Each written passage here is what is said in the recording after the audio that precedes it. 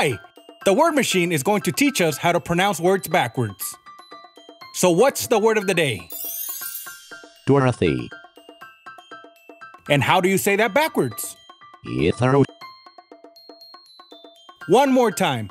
Let's pay close attention. Ether. Now you try it.